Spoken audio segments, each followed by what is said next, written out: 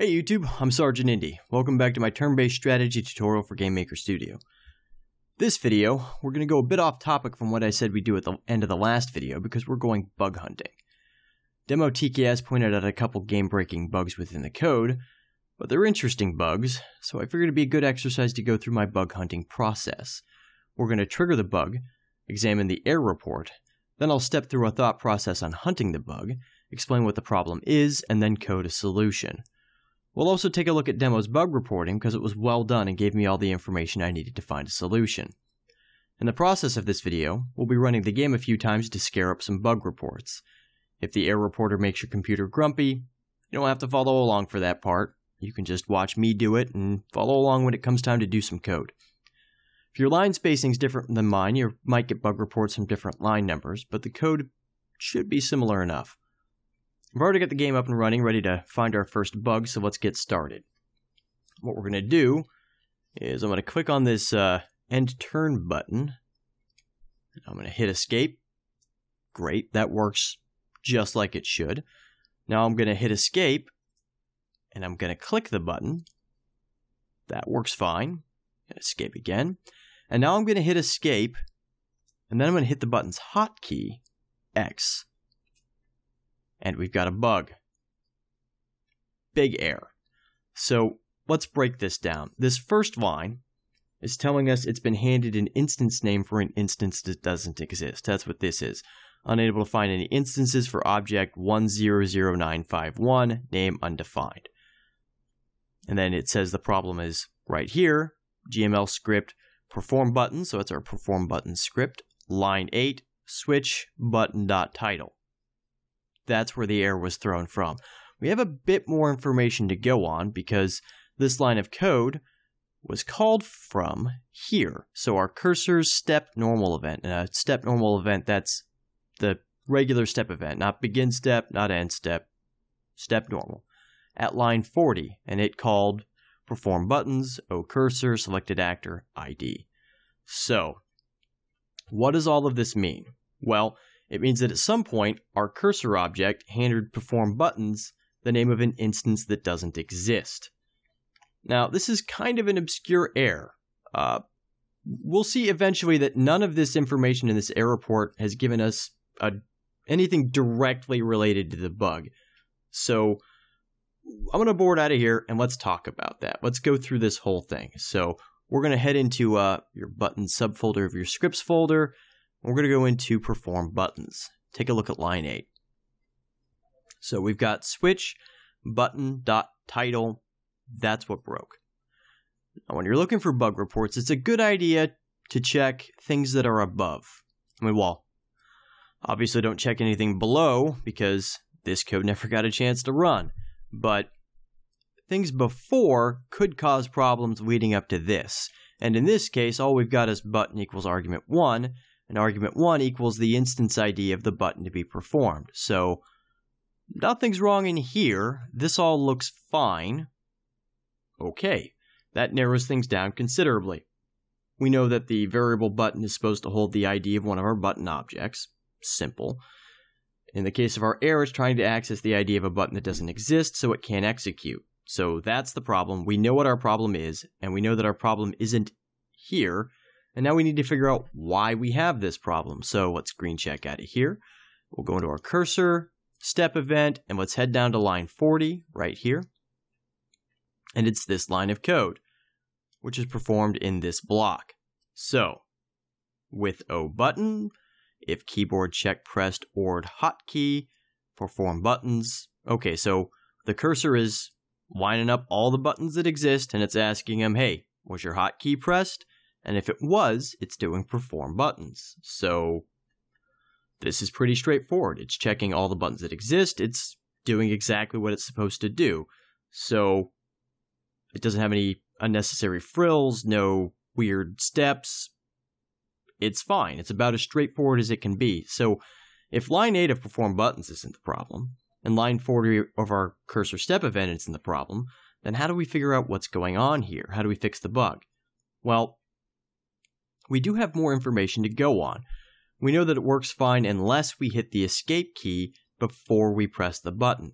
If we hit the escape key while buttons exist, clicking on them works fine, but hitting the hotkey throws an error.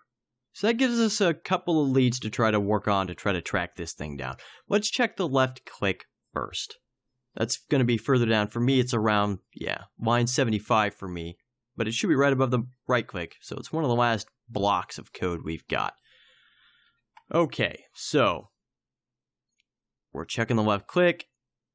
If we have a selected actor, if we have a hover button, we do this. And otherwise, well, yeah, if instance place XY confirm button, we perform the action and then we destroy the confirm button. This is all really straightforward too. So that narrows things down even more. Let's check out the escape key functionality. That's the block, block of code uh, right above where we're at now. So if keyboard check pressed, VK escape right here. So we fiddle with our selected actor state, we destroy the confirm button, we destroy the confirm box. In this block, that's fine. Then we do wipe nodes, cool. Well, then we do movement range. And here's the problem right here, movement range. Some of you probably remember that at the end of movement range, we create the buttons. So here's what's going on. The game starts, then it goes through all the turns until it gets to one of our player's characters, and then it does movement range and creates buttons. Uh, in the case of when I started the video, it was I think it was Rizzo, and there were four buttons. Creates all four of them. Great. Then we hit the escape key. It calls this, which calls movement range, and it creates more buttons. They're right in exactly the same place, right on top of the other buttons, essentially. Uh, you know, I'm I'm gonna demonstrate. I'm gonna let's I'm gonna green check out of here. You guys don't have to follow along with this. This is some throwaway debug functionality. I'm gonna go into our draw event and I'm gonna add a few lines of code, and we're gonna have a head count of all the buttons that exist in the game. So I'm gonna let's draw rectangle color and I want the British U because I want to see where it's at. We're just going to go about 300. It's not quite the center of the screen, close enough. Zero right up at top. And we'll go to 350. That's way more than we need. 16. C underscore black. C underscore black. Uh, C underscore black. C underscore black. C underscore black. I just got a new keyboard, so I'm gonna have even more trouble typing now than I normally do. We'll set up a quick variable, call it button count. That's good enough for me. And let's do width. Oh, button. No, button.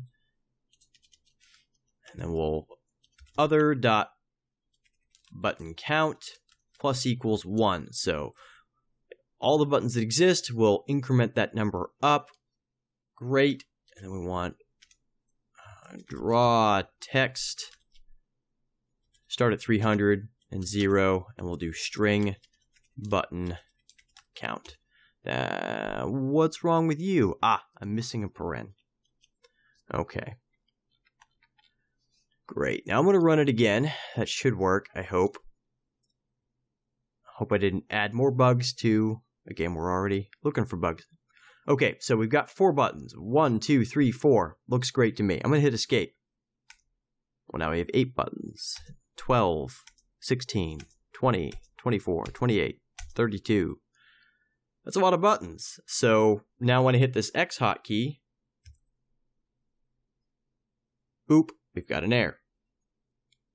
Okay, what's this mean? It means we have all those buttons laid on top of each other. 32 of them, for example, like I just did. Then when we hit a hotkey, what's happening is that cursor is essentially making a list. Let's go back in and look at uh, line 40 again. Line 40 right here. When it does this with O button, what cursor's doing is essentially making a list of every button that exists. And then it's going through all of this, one at a time, to check if their hotkey is pressed. Since we now have a bunch of identical buttons that share the same hotkeys, it's attempting to perform buttons with all of them in turn. Now, if we go check perform buttons, let's pop that open real quick. What it does is it wipes the buttons when it runs the end turn, or any of them really. They kill all of the other buttons. So our cursor's got this big long list. It gets to the first one. Oh, he pressed X. Cool. Let's uh, perform buttons. And then that kills all the buttons. And then it says keeps going is oh, I've got a ID of another one that's trying to perform buttons. It's and it's causing like a train wreck in our code is what's going on. That's a problem. We want it gone.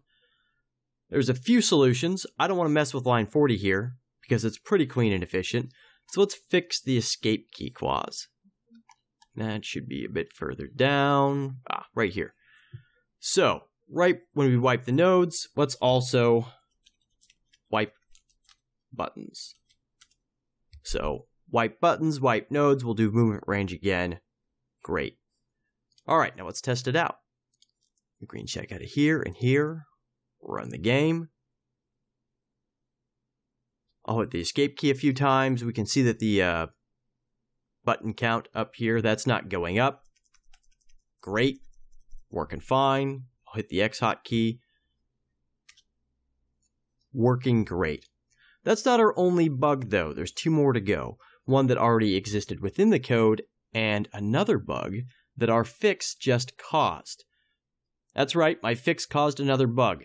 That happens a lot in game programming. Specifically, game programming like this, where you have so many pieces of data and variables interacting with one another to make this turn based strategy kind of stuff work, you get fixes cause bugs pretty often. So let's do that one first. I'm going to hover over this button right here. And we've got our cool pop up text that we programmed a couple videos ago. One video ago. It's, it's been a while. I'm going to hit escape now. I Said I'm going to hit escape now. Why isn't it causing the bug?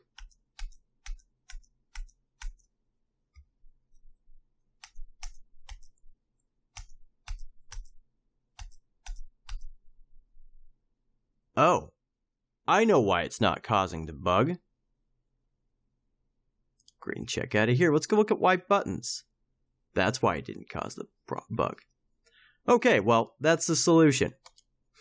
So initially I had planned that I was just going to put with O button right where I did the wipe buttons function before, and it caused the bug because we weren't resetting the hover button. Let's let's do that. I think that's a better teaching exercise. I spontaneously decided to do wipe buttons again, went off script. Let's do the proper way because this is also an interesting bug and we should talk about it too. So with O button instance destroy. Okay, so my fix didn't cause a bug. I went back and I retroactively caused a bug, and we'll fix it by doing wipe buttons instead of the other solution that I was going to do because it's much more efficient. We've already got a script that exists that does that. So I'm hovering over this button, got our cool pop-up text, our end turn, finished turn of current character stuff. I'm going to hit escape. Now we have a bug. Great, good. Now we have a bug. I can talk about a bug. Uh, it's much simpler than the last one, our bug report. We've only got a couple of lines. We've got the same basic first line. It can't find this thing. It's trying to access an instance that no longer exists and the error is coming from our cursor's draw event, temp title equals hover button dot title. So same thing, we're passing an instance name, its ID, in the hover button variable, and then when we go to try to access that button's data, we find out it doesn't exist. A lot simpler than the last one. I've talked before about how everything in GameMaker Studio follows a very stringent order. Every step it goes through, every type of event in order. It can't really perfectly outline exactly how GameMaker's going to do things because, like, if you create an object during another object step event, it's going to do its create events and its activation triggers stuff. So it depends on how you code your game, but definitely GameMaker's going to go begin step, step, end step, and then it moves on to the various draw events. And I'm not too certain on what order the draw events go in because I tend to just old school it and just use a regular draw event because I haven't gotten used to the new. Actually, I haven't even tried the new draw UI yet. I probably should fiddle around with that just to get used to it. So what's going on here is that our cursor step event, and let's go let's go look at that in the code itself. So our cursor, take a look at the step event. Where does it do it? Right here. So if instance place x y o button. So we're hovering over a button we do our little button timer thing for our pop-up text, and we set our hover button variable to instance place xy, O button. Great. Now later on, just a couple lines of code later, we're hitting escape, we're destroying that button, but that button's ID is still in the hover button variable. That's a problem because now when we go to the draw event, we go to here, well, hover button's not equal to no one. We've got a number stored in there. So temp title equals hover button dot title. Wait a minute, there's no more hover button. I can't get title. That's what's going on. Oops. Simple fix. Uh, I had a different simple fix, but now we're going to go with the accidental simple fix that I already had. So let's go into with O button instance destroy. Instead of that, what I was initially going to do, was just going to keep that, and then I was going to do hover button equals no one. I was going to essentially retype what's going on here with just wipe buttons, because wipe buttons, well, it does all that for us. So why, why mess around when we got something written up to do it already for us? So we destroyed all the buttons. Now we've cleared out the data, defunct data that might exist. That's all done here in wipe buttons. Cool. Now let's test this one real quick. Let's go in, and I, I already know it works because we've seen it work. But we do have one more bug to find after this one. X a bunch of times. It does kill our hover information. Probably could find some way to fix that. It's really not that big of a deal though. So now, last bug, well, Okay. Let's not get too cocky. This is the last bug I know of. There are probably more. It's pretty easy to rack up a lot of bugs when you're making a game in in a turn-based strategy game. Again, you get a bunch of different parts all mashing themselves together to make this work. So there's a lot of weird places for bugs to hide. So last bug that I know of, I'm gonna end uh, Danny's turn, and I'm gonna be watching. And when these targets flash, I'm going to hit escape. So, and turn, confirm. I think I missed one, didn't I? No. Come on. There we go. Got it. Okay. Same basic kind of thing, except this time we're getting a negative 4. So, O cursor step normal event line 45 if selected actor dot state equals begin action and this negative 4 is popping up. What's the deal with that? I mean, all the other times we're getting a, what, a six digit number like 100947, or something like that. This time we're getting negative 4. That doesn't sound right. That doesn't sound like an ID game maker we'd give something. And it's not. It's an ID that we gave something. So, no one pops up as negative 4. I don't know why, because no one is also like you're able to use it as a true false statement, but it works. And if it's stupid but it works, then it isn't stupid. So essentially, this we have a piece of code in here that's assuming we have a selected actor. And on the enemy's turn, we don't have a selected actor, it's set to no one. So it's essentially trying to change the state of that no one keyword and that no one keyword obviously doesn't have a state to mess with. So another pretty easy fix, our if statement in this block of code is broken. Let's get to that. Get back into our step, and it's the same line 40-ish block of code that's been causing us problems this whole time. So if selected actor state, begin action, this broke.